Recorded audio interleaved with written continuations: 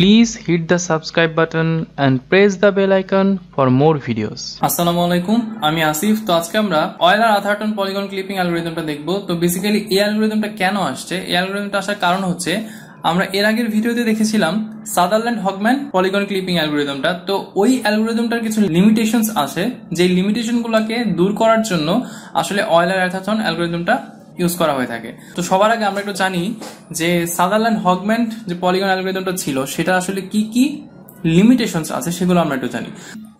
Sutherland হগম্যান algorithm যেটা ছিল সেটা আসলে লিমিটেশনটা হচ্ছে অ্যালগোরিদমটা শুধুমাত্র যে সকল পলিগনের ভেতরের সাইডের কোণ বা ইনার সাইডের কোণগুলো একশো আশি ডিগ্রি থেকে ছোট হবে, সেগুলোর জন্য কাজ করে। তার মানে একশো আশি ডিগ্রি থেকে ছোট কোণ হলে ভেতরের সাইডের কোণগুলো, তাহলে সেটার জন্য কাজ করে হচ্ছে সাদারল্যান্ড হগম্যান যেগুলো হচ্ছে আমাদের একশো আশি ডিগ্রি থেকে বড় হয় ভেতরের সাইডের কোণগুলো, সেগুলোর জন্য এই অ্যালগোরিদমটা সঠিক ভ্যালু দেখায় না। তো আসলে একশো আশি ডিগ্রি ছোট বলতে কি বোঝাচ্ছি? যেমন ধরেন একটা কোণ এরকম আসলো যে এরকম একটা কোণ, আপনি যদি চিন্তা ভাবনা করেন, এই পলিগনটার ক্ষেত্রে কিন্তু ভেতরে সবগুলো কোণই কি হবে? একশো আশি ডিগ্রি থেকে ছোট হবে। কিন্তু যদি কোনো এরকম কোণ আসে, যেমন ধরেন এরকম শেপ এরকম শেপ আসলে কিন্তু এই যে ভেতরে যে কোনটা আছে, দেখেন এই কোনটা কিন্তু ওয়ান এইটি ডিগ্রি থেকে বড় হবে।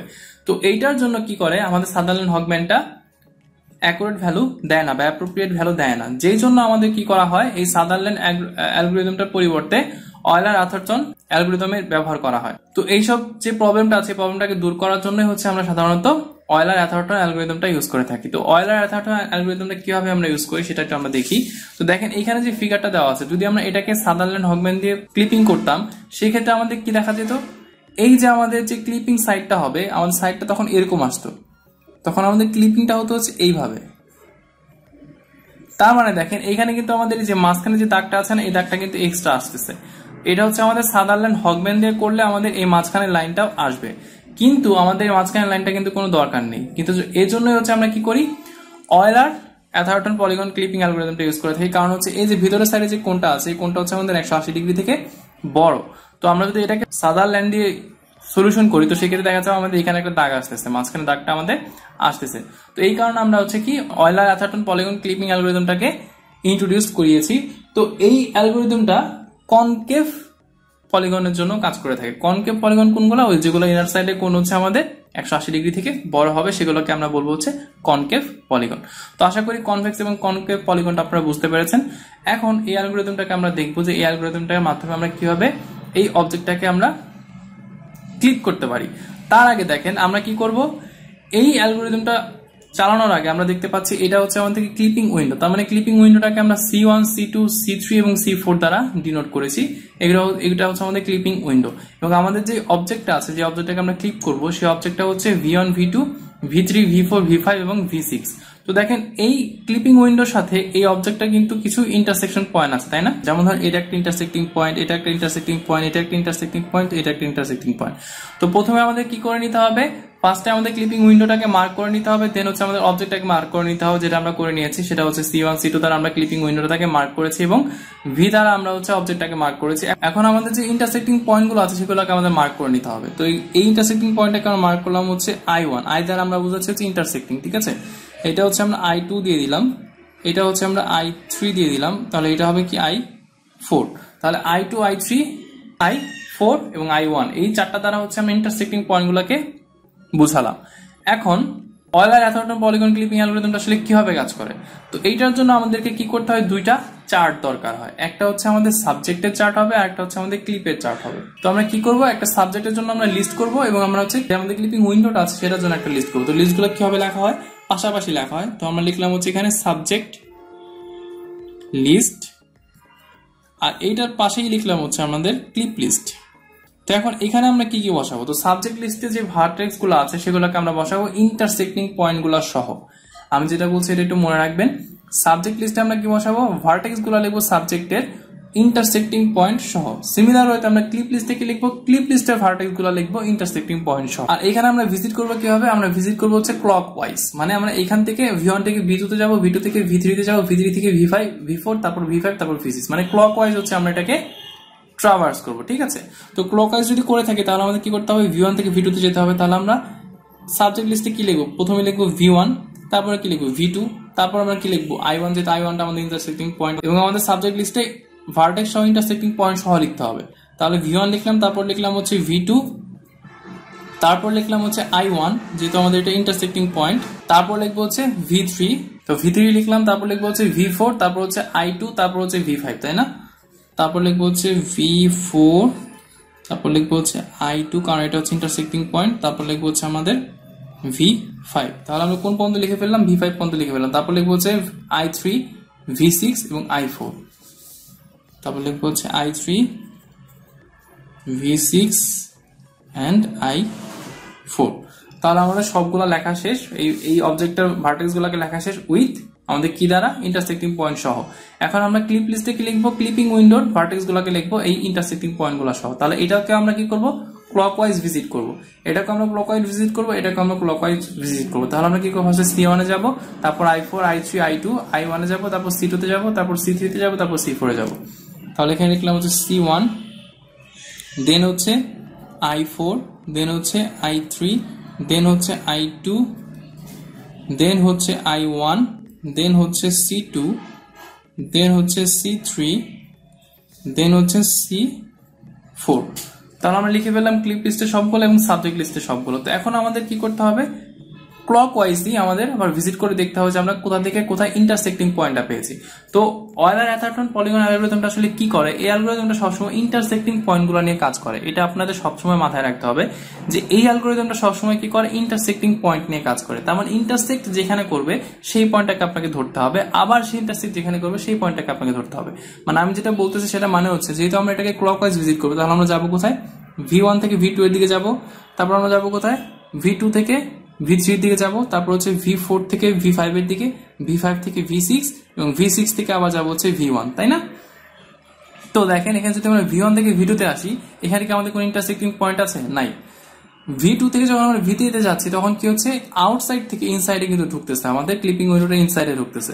তো এই ক্ষেত্রে কি হচ্ছে? এখানে একটা ইন্টারসেক্টিং পয়েন্ট আছে, সেটা হচ্ছে আই ওয়ান তো এই আই ওয়ানটাকে আমাদের চিন্তা ভাবনা করতে হবে আয়নটাকে নিয়ে। তো এই আয়নটাকে আমরা হচ্ছে ডিনোট করব। মানে এই অয়েলার এতটা পলিগন অ্যালগোরিদম যেটা আছে, সেটা সবসময় আমাদের ইন্টারসেক্টিং পয়েন্ট নিয়ে কাজ করে। সেটা ঢুকার সময় ইন্টারসেক্টিং পয়েন্ট এবং বের হওয়ার সময়ও ইন্টারসেক্টিং পয়েন্ট নিয়েই কাজ করবে। তো ভি টু থেকে ভি থ্রি কি হচ্ছে? আমাদের ভেতরের দিকে ঢুকতেছে এবং এটার জন্য ইন্টারসেক্টিং পয়েন্টটা হচ্ছে আই ওয়ান তাহলে আমরা কি করব? এই যে আমাদের সাবজেক্ট লিস্টে এখন আমরা যেহেতু সাবজেক্ট লিস্ট নিয়ে কাজ করছি, তো আমরা কি করব? সাবজেক্ট লিস্টে আই ওয়ানকে ডিনোট করব।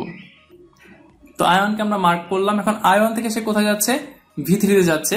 ভি থ্রির পর ভি ফোরে যাচ্ছে, তারপর নেক্সট ইন্টারসেক্টিং পয়েন্টটা কত? আই টু তো যতক্ষণ পর্যন্ত না সে নেক্সট ইন্টারসেক্টিং পয়েন্টটা পাবে, ততক্ষণ পর্যন্ত সে ভিজিট করতে থাকবে। তার মানে আই ওয়ান থেকে সে ভি আসলো ভি থেকে সে ভি ফোরে গেল ভি ফোর থেকে যাবে কোথায়? আই টুতে তার মানে হচ্ছে আই ওয়ান থেকে সে যাবে কোথায়? ভি থ্রিতে আসবে ভি থ্রি থেকে যাবে কোথায়? ভি ফোরে যাবে ভি ফোর থেকে যাবে কোথায়? আই টু ওই আই টুটা হচ্ছে আমাদের নেক্সট ইন্টারসেক্টিং পয়েন্ট যেই পয়েন্টের মাধ্যমে সে হচ্ছে ভেতর থেকে বাইরে দিকে চলে যাচ্ছে। তো এই পয়েন্ট আসার পর সে কি করবে? থেমে যাবে। তো যখন আমরা দুইটা ইন্টারসেক্টিং পয়েন্ট পেয়ে যাব, তখন আমরা কি করব? এখানে এটাকে থামিয়ে দিব। থামিয়ে দেওয়ার পর কি করব? যেহেতু আমাদের দুইটা ইন্টারসেক্টিং পয়েন্ট সে পেয়ে গেছে, তো এখানে থামিয়ে দিব। থামিয়ে দেওয়ার পর সে কোথায় যাবে? এই পাশ থেকে সে চলে যাবে হচ্ছে আমাদের ক্লিপ লিস্টে এই যেখানে থামছে, এখান থেকে চলে যাবে সে হচ্ছে ক্লিপ লিস্টে ক্লিপ লিস্টে যে সে খুঁজবে, যে সে যেখানে সে থেমেছে, ওই পয়েন্টটা ক্লিপ লিস্টে কোথায় আছে? যেমন আমরা এখানে আই টুতে এসে থেমেছি, তো আই টুটা আমাদের ক্লিপ লিস্টে কোথায় আছে? আই টুটা আমাদের ক্লিপ লিস্টে আছে হচ্ছে এইখানে। তো সে কি করবে? এইখান থেকে সরাসরি আই টুতে চলে যাবে। এই ক্লিপ লিস্টে আই টুতে ক্লিপ লিস্টে আই টুতে যাওয়ার পর সে কোথায় যাবে? সে আবারও এই ক্লিপ লিস্টের ক্ষেত্রে আরেকটা ইন্টারসেক্টিং পয়েন্ট খুঁজবে। যে ইন্টারসেক্টিং পয়েন্টে আমরা কি করেছি? অলরেডি ভিজিট করে ফেলেছি। তো যে ইন্টারসেক্টিং পয়েন্টে আমরা অলরেডি ভিজিট করে ফেলেছি সেটা কোনটা? এই আই ওয়ানের মধ্যে আমরা অলরেডি ভিজিট করে ফেলেছি না।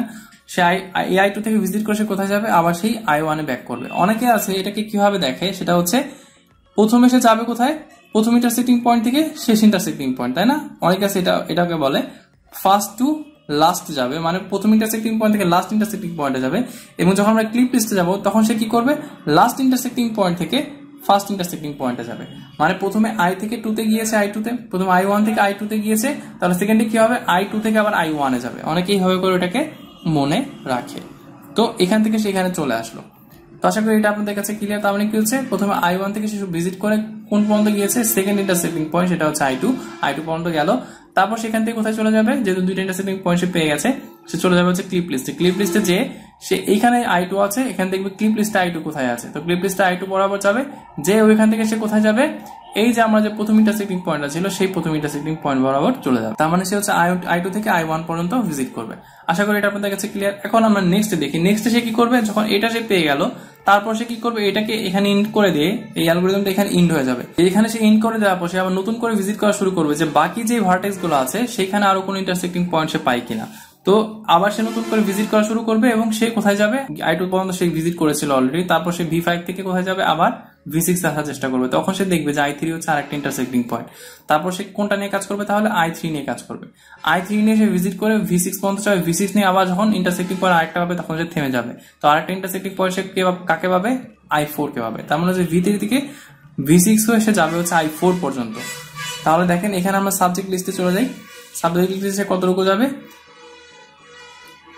আই থ্রি থেকে সে শুরু করবে আই থ্রি থেকে ভি সিক্স হয়ে সে যাবে হচ্ছে আই ফোর পর্যন্ত তো আই ফোর পর্যন্ত চলে গেলাম তো যেহেতু দুইটা ইন্টারসেক্টিং পয়েন্ট আমরা পেয়ে গেছি তো আমাদের এখন কি করবে সে এখন সে ক্লিপ লিস্টে চলে যাবে ক্লিপ লিস্টে কোথায় যাবে এই যেখানে আমরা আই ফোরে এসে থেমেছি তো সেই ক্লিপ লিস্টে আই ফোরটা খুঁজবে তো ক্লিপ লিস্টে সে দেখতে পাচ্ছে আই ফোর হচ্ছে এখানে আছে তো সে এখান থেকে ডাইরেক্ট কোথায় চলে যাবে এই আই ফোরে চলে যাবে তো আই ফোরে চলে গেলে এখন আই ফোর থেকে কোথায় আসবে ওই যে আমি বলেছিলাম আই থ্রি থেকে যদি আই ফোরে যায় তাহলে আই ফোর থেকে আই থ্রিতে যাবে তাহলে আই ফোর থেকে সে ভিজিট করবে কোন জায়গায় আই থ্রিতে ভিজিট করবে তো দেখেন, এখানে তাহলে সে কোথায় কোথায় ভিজিট করল? এখানে ফার্স্টে আই ওয়ান ইন্টারসেক্টিং পয়েন্ট ছিল আই টু ইন্টারসেক্টিং পয়েন্ট ছিল, এবং আই থ্রি ইন্টারসেক্টিং পয়েন্ট ছিল আই ফোরও কিন্তু ইন্টারসেক্টিং পয়েন্ট ছিল।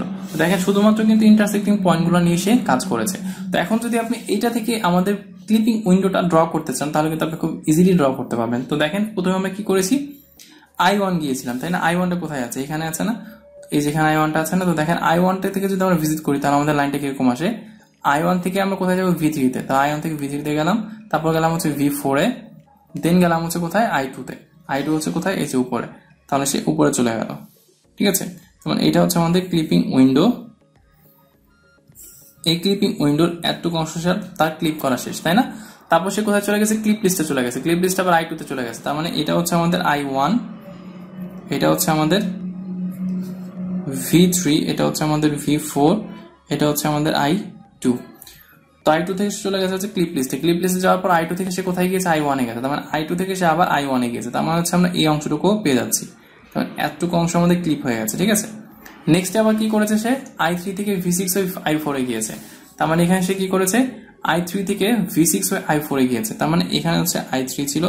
আই থ্রি থেকে ভি সিক্স এসেছে। ভি সিক্স থেকে সে গেছে কোথায়?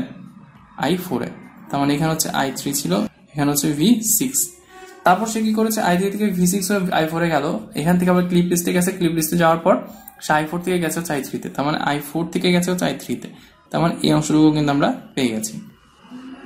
তো দেখেন এইখানে আমাদের এই মাঝখানের কোনো অংশ কিন্তু আর অ্যাড হয়ে আসেনি। মানে আমাদের সাদারল্যান্ড হকম্যান যেটা আসতো, এটার মধ্যে কিন্তু মাঝখানে অংশটা আসতো। কিন্তু এটার মধ্যে কিন্তু আমাদের এই মাঝখানে অংশটা আসেনি। ডাইরেক্ট আমাদের ক্লিপ অংশগুলো এসেছে। তো এর জন্য আমাদের অয়েলার অ্যাথটন পলিগন ক্লিপিং অ্যালগোরিদমটা ব্যবহার করা হয়।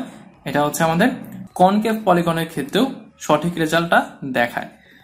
তো এইটাই ছিল হচ্ছে আমাদের টোটাল অ্যালগোরিদম তো অ্যালগোরিদমটা আসলে মূল কনসেপ্টটা কি ছিল? আমরা একটা সাবজেক্ট লিস্ট লিখব এবং একটা ক্লিপ লিস্ট লিখব। সাবজেক্ট লিস্টের মধ্যে আমরা কি লিখব? এই সাবজেক্টের যে ভার্টেক্সগুলো আছে, এই ভার্টেক্সগুলো লিখব, সবগুলো প্রথমে সিরিয়াল অনুযায়ী ক্লক ওয়াইজ এবং অবশ্যই আমরা কি করব? ইন্টারসেক্টিং পয়েন্ট গুলোকে সহ লিখব। দেন হচ্ছে কি আমরা ক্লিপ লিস্টের মধ্যে আমাদের ক্লিপিং উইন্ডোটা লিখব, সেটা হচ্ছে ক্লক ওয়াইজ এবং অবশ্যই আমরা ইন্টারসেক্টিং পয়েন্ট সহগুলো লিখব। তারপর আমরা শুধুমাত্র দেখব যে আমাদের কোন ইন্টারসেক্টিং পয়েন্ট থেকে শুরু হয়েছে এবং কোন ইন্টারসেক্টিং পয়েন্টে যে এন্ড হয়েছে। ওই অনুযায়ী আমরা সাবজেক্ট লিস্ট থেকে ভিজিট করব। ভিজিট করার পর যেখানে যে শেষ হবে, ওই পয়েন্টটাকে আমরা আবার ক্লিপ লিস্টে খুঁজবো। ক্লিপ লিস্টে খুঁজে আমরা কি করব? তার অপোজিটটা করব। মানে এখানে আমরা আই ওয়ান থেকে আই টু তে গিয়েছিলাম ওখানে আমরা যাব কোথায়? আই টু থেকে আই ওয়ানের দিকে। তো আমরা দেখেন এখানে আই টু থেকে আই ওয়ানের দিকে গিয়েছিলাম। বেসিক কথা হচ্ছে আমরা যে উইন্ডোগুলো পেয়েছি বা যেই ইন্টারসেক্টিং পয়েন্টগুলো পেয়েছি, সেই ইন্টারসেক্টিং পয়েন্টগুলো নিয়ে কাজ করেছি। তো দেখেন এখান থেকে আই টু এর পর ফার্স্ট ইন্টারসেক্টিং পয়েন্ট আমরা কোনটা পেয়েছিলাম? আই ওয়ান পেয়েছিলাম, তো আমরা আই ওয়ানে গিয়েছিলাম। সিমিলার ওয়েতে আমরা আই থ্রি থেকে আই ফোরে গিয়েছি এবং আই ফোর থেকে আমরা এখানে আই ফোর খুঁজেছি। আই ফোর থেকে আমরা কোথায় যাব? আমরা যে ফার্স্ট ইন্টারসেক্টিং পয়েন্টটা পেয়েছি, সেখানে যাব। সেটা হচ্ছে আই থ্রি তো আশা করি এটা আপনারা বুঝতে পেরেছেন। তো এইটাই ছিল হচ্ছে আমাদের এই অয়েলার অ্যাথর্টন পলিগন ক্লিপিং অ্যালগোরিদমের এক্সাম্পল তো আশা করি আপনারা এই ভিডিওটা ভালো মতো বুঝতে পেরেছেন এবং আপনাদের কাছে ভালো লেগেছে। যদি বুঝে থাকেন এবং আপনার কাছে ভালো লাগে, তাহলে অবশ্যই লাইক করবেন শেয়ার করবেন কমেন্ট করবেন আমার ভিডিওটিতে এবং অবশ্যই আমার চ্যানেলটিতে সাবস্ক্রাইব করতে ভুলবেন না। ধন্যবাদ।